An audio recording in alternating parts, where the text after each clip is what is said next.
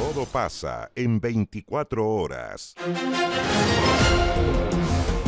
Una denuncia en Contraloría presentó el concejal de Teno, Matías Rojas. El edil afirmó que en el municipio hubo fallas en la entrega de ayudas sociales por las lluvias de junio y agosto.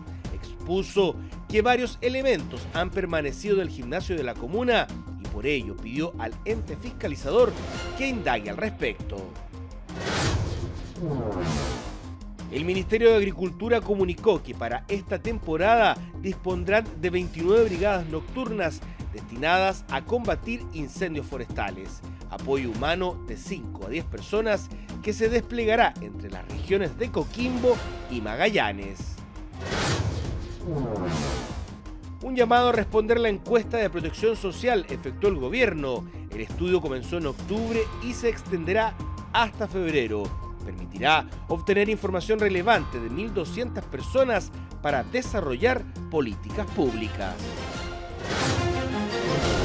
Todo pasa en 24 horas.